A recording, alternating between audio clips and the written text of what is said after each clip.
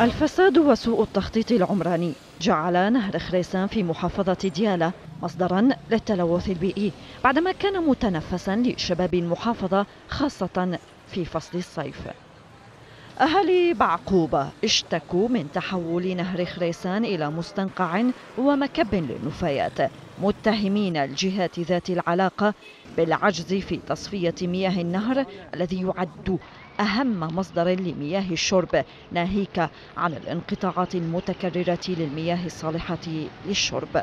نحن أهالي ديالى نعاني ماء ملوث منذ سنين وماء في, في الحنفيات تجي طحالب وملوث جدا يعني.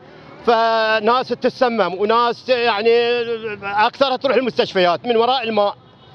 نحن في محافظة ديالى نعاني من شحة المياه ونعاني من تلوث المياه في نفس الآن.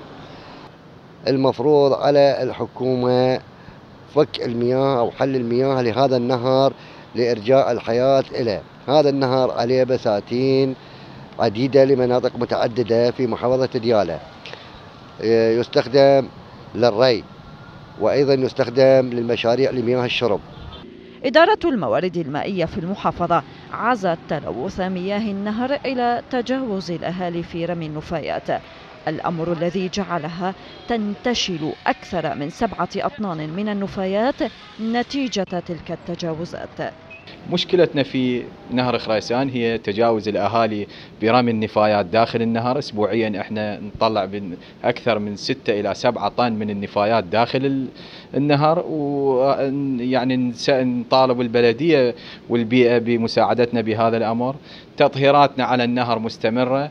أكثر من أربع إلى خمس مرات يطهر النهر خلال الست اشهر كل ست اشهر أكثر من أربع إلى خمس مرات يطهر النهر ومياهه مستمرة غير خاضعة للمراشنة والمياه الخام للإسالات بالمحافظة. ويبقى السؤال هل ستبقى الإدارة مستمرة بإلقاء اللوم على المواطن في فشل إدارة المشاريع وتغطية الفساد؟